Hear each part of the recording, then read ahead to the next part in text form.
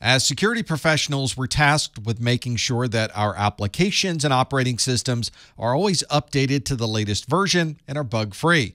But of course, that process starts at the beginning with the developers themselves creating applications that have been hardened and resistant these types of attacks. But of course, this process starts with the application developers who are tasked with building these applications while at the same time making sure they're safe from attacks. This, of course, is a balancing act because the developers have a goal to create an application that can be used. Very often, security is a secondary goal during the process of development. A lot of the testing that takes place during an application development process happens with the QA team. This is the quality assurance team that is tasked with not only making sure that the application is working to specification, but also making sure that the application is secure. But even with the best testing, applications can still have vulnerabilities that go unnoticed, and eventually someone is going to find those vulnerabilities and take advantage of them.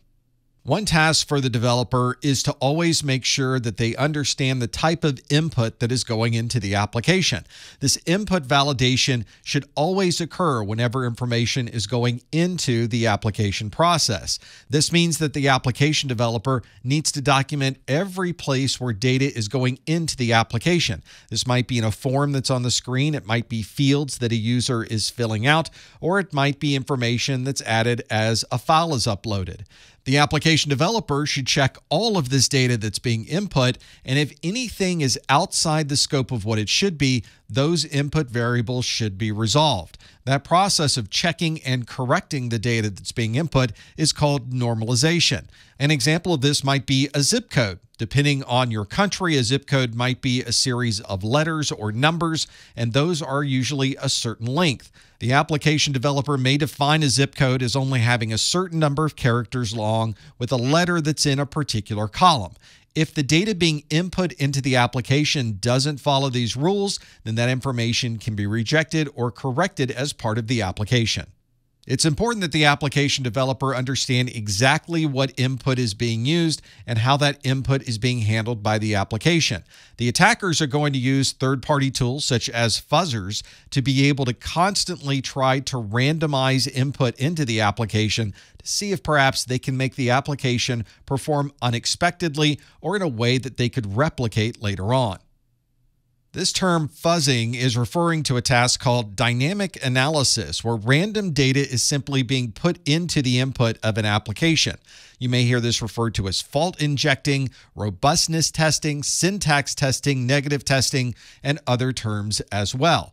The attackers are looking for something out of the ordinary to occur. They're looking to see if there might be a buffer overflow, if the application might crash, or something else that could cause this application to give them an opportunity to find a vulnerability. A standard fuzzing framework started with a 1988 class project at the University of Wisconsin, where they began taking applications and running their own utilities to find vulnerabilities. They called this the Operating System Utility Program Reliability with Professor Barton Miller. As you can imagine, there are many different types of fuzzing tests that you can perform on an individual application. These tests may be specific to a particular application platform or operating system, and there can be many, many variables involved when performing these fuzzing tests. These fuzzing tests take a lot of time and a lot of processing power. They're almost always automated, and so there are constant randomized inputs that are being tried against the application. This may take quite a bit of time because the fuzzing engine is going to try many, many different iterations to try to locate where a vulnerability might be. Many of these fuzzing utilities are also optimized to try the most likely test to find a vulnerability. This also speeds things up instead of going through every possible random input. You can simply try the ones that are most likely to cause a problem. Carnegie Mellon has a computer emergency response team, or CERT, that has released a version of a fuzzer called the CERT Basic Fuzzing Framework, or BFF. And you can download this and try it on your own machine by going to professormesser.link slash BFF. Here's this fuzzing framework running on my machine. It's going through an automated process with data that's provided as a sample with the fuzzing program, and it's going through every iteration to see if it can find problems. This also has a version of top running on this Linux machine so that you can see just how much of the utilization is being used by the fuzzing program, and you can keep track of where certain vulnerabilities may be found or occurring during the fuzzing process. Another important security concern is the information that is stored on your computer from your browser. This information is referred to as cookies. Cookies are commonly used to keep track of information that is only used for a limited amount of time. This might be tracking details or things that might personalize a login into a site or perhaps session management information. This is not an executable, it's not a running application, and generally, this is not something that is a security concern. Of course, we want to be sure that no one else has access to this information, so your cookies should, of course, be protected. Many of the cookies that are stored on our system are designated as secure cookies. Those cookies have an attribute on them that is marked as secure. This tells the browser that if this information is being sent across the network, it needs to be sent over an encrypted connection using HTTPS. Although we're designating that these cookies are secure, that doesn't mean that the information inside of those cookies needs to be something that is private or sensitive. The cookies are there to make the browsing process easier for the user and are not designed to store private or personal information. If you're not the person who has designed and created an application, it's difficult to know exactly what work has been put into the security side of that app. To be able to make our applications more secure, we've created something called HTTP Secure Headers. This is a way to configure our web server to restrict the capabilities of a browser to be able to perform certain functions. This means that we can tell the end user's browser to either allow or not allow certain tasks to occur while this application is in use. For example, we may configure a secure header that tells the client's browser to only communicate to the web server using HTTPS. This forces the user to use an encrypted communication and restricts any communication that may not be using the HTTPS protocol. Or we might try preventing cross site scripting attacks by telling the browser to only allow scripts, style sheets, or images from loading from the web server. Or perhaps we've configured a secure header to prevent any data from loading into an iframe. This is an inline frame and something that's commonly used when attackers trying to perform a cross-site scripting attack. When we install and run a new application on our system, there's a level of trust we have with the application that it's not going to run any malicious software. And we're constantly installing new applications and running scripts on our system. And we have to be aware every time we run a new application that there may be something inside of the application that we're not aware of.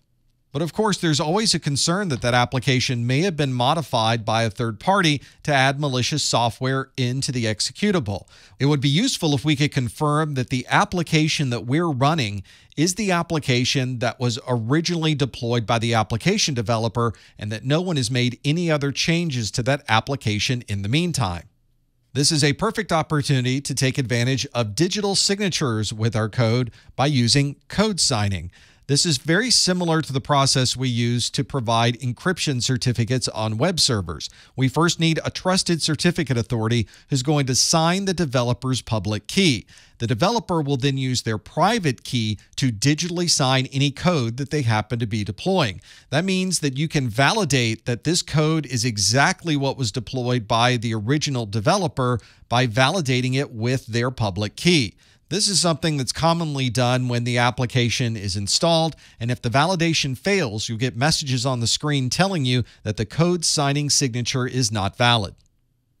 From an administrator's perspective, there's probably a finite list of applications that commonly are used in your environment. They have been tested on your systems, and you can trust that they don't contain any malicious software.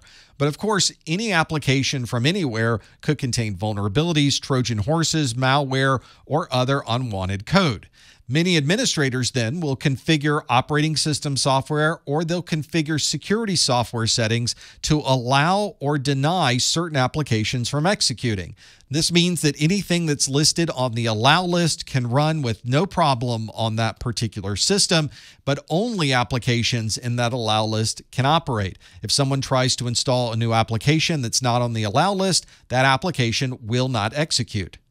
Some organizations have a more open approach to applications and will only prevent applications that are on a specific deny list. If an application is trying to run and it's listed on the bad list, it will be stopped before it executes on that computer.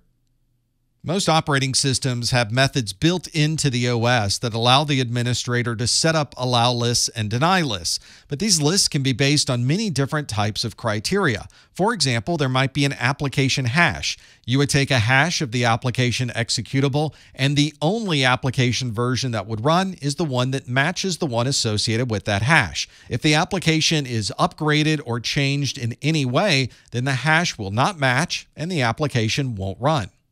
An application that has been digitally signed can also be used for criteria on an allow list or a deny list. For example, you can tell from a digital signature if the application is from Microsoft or Adobe or Cisco. And if it matches any of those, you could choose to allow those applications to run on your computer. Or perhaps the applications that are allowed on your computer are stored in very specific folders on your storage drive. And we can configure an allow list to only run applications that happen to be stored in those folders. Your operating system might also recognize where applications are running from. If an application is running from a server that's on an internal network, it may say that that particular network zone is allowed to run applications. But if you're trying to run that application from a server that's on the internet, you might want to deny that until that application has been properly vetted. When an application developer writes some software, there might be a hidden vulnerability inside of that code that no one's found yet. It's very difficult for human beings to sift through all of those hundreds or thousands of lines of code to be able to identify where those vulnerabilities might be. So instead, we can automate the process with static application security testing or SAST we can use these static code analyzers to go through the source code and identify places where there may be vulnerabilities such as buffer overflows, database injections, or other well-known types of attacks. But of course, the static code analysis doesn't find every type of vulnerability. For example, if a type of encryption has been implemented in a way that is insecure, a static code analyzer may not find that type of issue. And as you might expect, the output from a static code analyzer does not necessarily mean that an actual vulnerability exists in the code. Every single one of these instances needs to be examined and confirmed before anyone can be sure that a particular vulnerability exists. Here's an example of some output from a static code analyzer. For example, in the first set of source code test.c on line 32, an error was found that says it does not check for buffer overflows. It gives some examples of what those might be, and it says use fgets instead. Another set of errors was found on test.c on line 56, and it gives examples of things that may be considered as a problem and ways that you might be able to fix it.